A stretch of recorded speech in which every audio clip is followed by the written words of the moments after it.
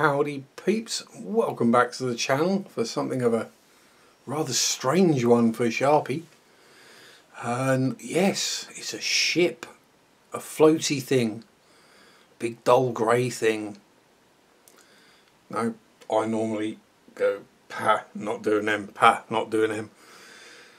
I tried one before, didn't like it, but no, like anything, try it again.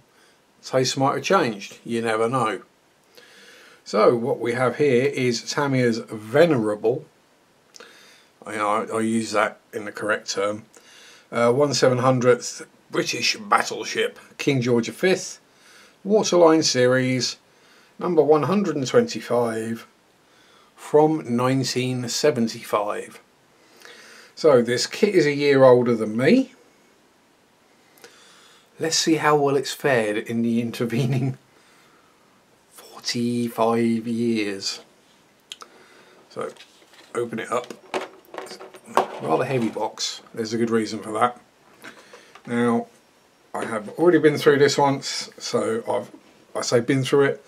I've taken everything out of the bag so we can save all that grief and hassle of rustling and rattling and staples stabbing in my fingers. Being Tamiya.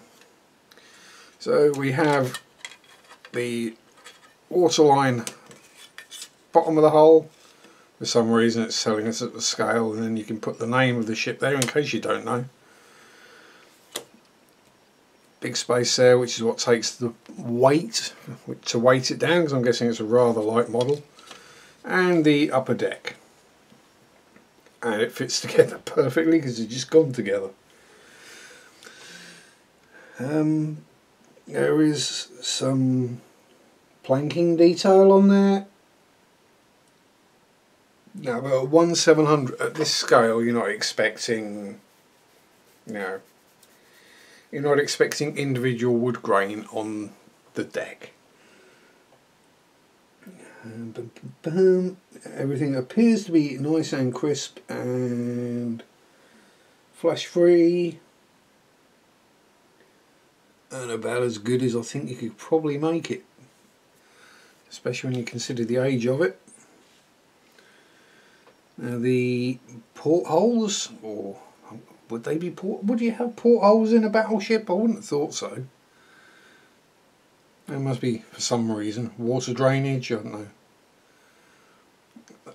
They're all opened up or at least recessed where the pins haven't gone through deep enough. And more proof it's 1975 same down this side. We've got a bit of a bit of tape left on there. The two halves were taped together. And you can see where the citadel section of the ship was because that's where the main armour bulges there's not really anything important in the front and rear section. Uh, well, I say important, I mean there's, there's nothing that's going to explode and take the rest of the ship with it, let's put it that way. First sprue, which I happen to grab sprue B, but there you go. And I'm really to suck at saying what these bits are, because I'm not a shipist. This time we will actually use the bits of the MiniArt dushka No, it's still too small. We'll use a, use a cocktail stick. It's been used for many things. There's a pointy. Um, look like anchors to me. Pass. Anti-aircraft gun batteries perhaps. The um, derricks for the recon plane. More secondary gun batteries or anti-air batteries I would guess. Parts of the bridge. More gun stuff funnels.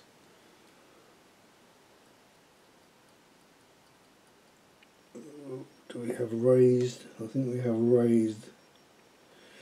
Yeah, we do have raised panel lines, but I'm not entirely sure. I think they may well actually be raised on the battleship because they would probably overlap rather than leave gaps. Gaps on a floaty thing are a bad idea anyway, so you know.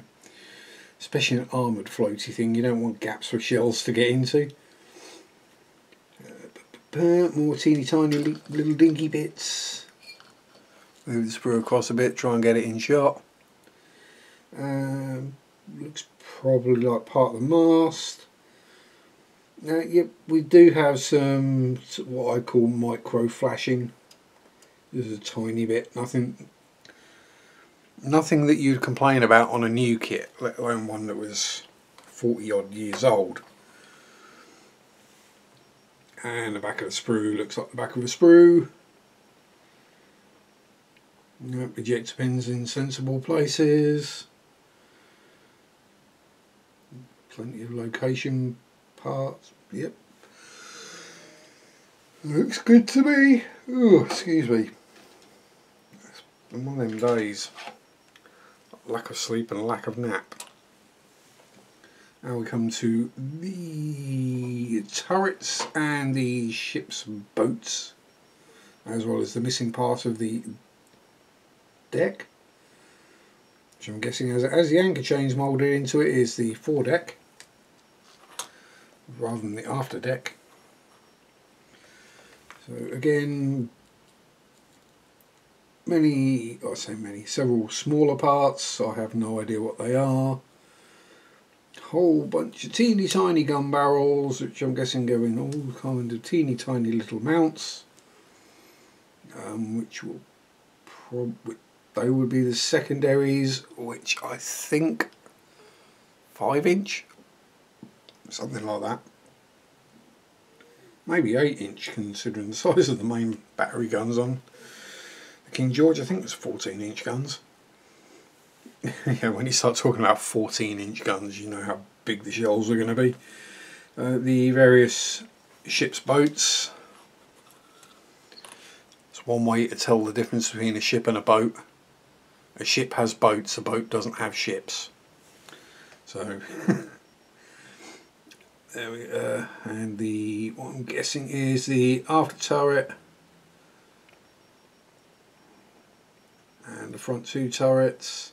This is a 424 on the gun formation. Was meant to be a 444 but it was causing problems with the weight I believe. It was over the treaty limit or it was just too top heavy, one or the other. There have been several ships that got into service and then they found out they were too top heavy. The Atlanta class being one of them. Let's see, are they...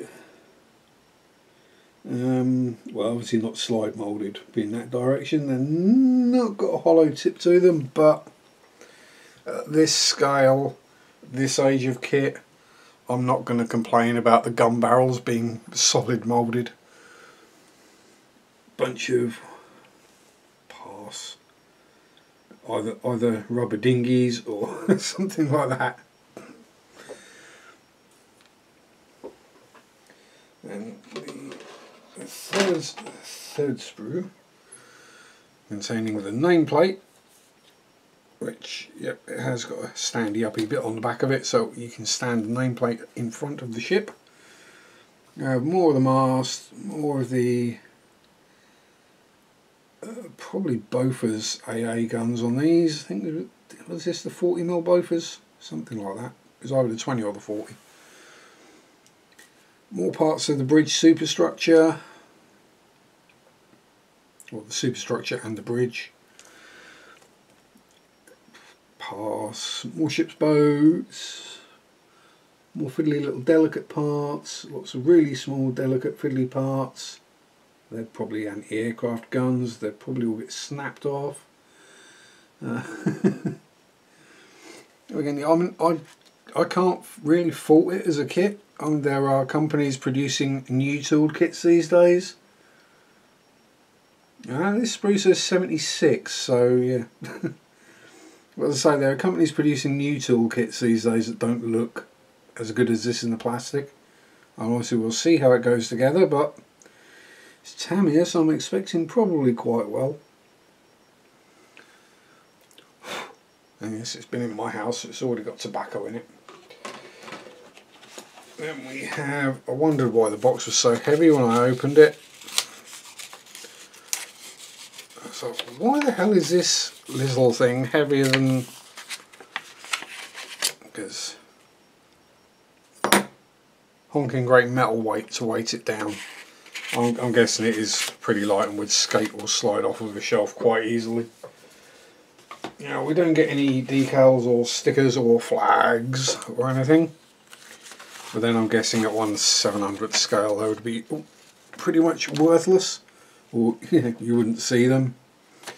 Uh, so actually plenty of bump about the ship. Me, me, me, me, me, me. Does it say what size? So, yep, 10, 14 inch guns. Secondary is four twin five and a quarters. Light anti-aircraft.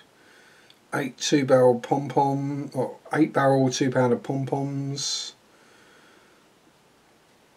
And I would have thought some Bofors on there as well general stats say 35,000 tonnes, 227 and a half metres long, which is nearly 700 foot. Maximum speed 30 knots, main guns 36 centimetres by 10. And then you compare that to the Yamato, which was 65,000 tonnes, 946 centimetre guns, and 263 metres long. But yes, so we have world's most annoying type of fold out instructions is all one long piece. We Have our paint guide, which is buff, metallic grey, black, white grey and grey. Yep, relatively simple enough to do and the Construcciones have a pen.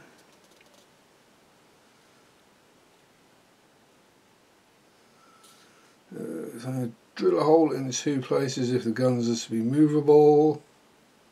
B19 and 20 must be fixed lastly. Yeah, fair enough. Oh, it's a little bit busy. You know, the anti-aircraft flak guns all going together. Now, it looks a little bit busy, but there's not so there's not a huge amount to it. So soon go through, get it built. Funnels, pom poms, bridge bays.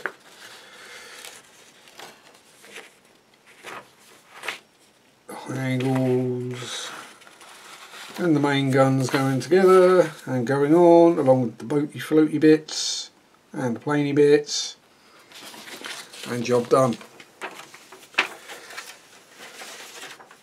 And probably at some point shortly after then the launchy launchy out the window bits hey anyone who knows me and ships knows that's probably what's going to happen. And that is completely why I went for a relatively old relatively cheap 1 700th scale rather than a big 1 350th or 200 because one of them won't fit out the window and it costs a lot of money. So there we go.